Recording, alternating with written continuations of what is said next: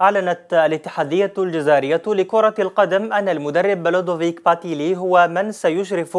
على المعسكر الإعدادي للمنتخب الوطني أياما قليلة فقط بعد إعلان الفاف أن الناخب الوطني جمال بلماضي استدعى 22 لاعبا لهذا المعسكر. من خلال هذه الخطوة يبدو فإن شروط جمال بلماضي بقائه في منصبه لم تقتصر فقط مغادرة manager الخضر حكيم مدان بل يصر كذلك بطل إفريقيا على مغادرة عدة أسماء أثرت على سيرورة عمله على مستوى المنتخب الأول.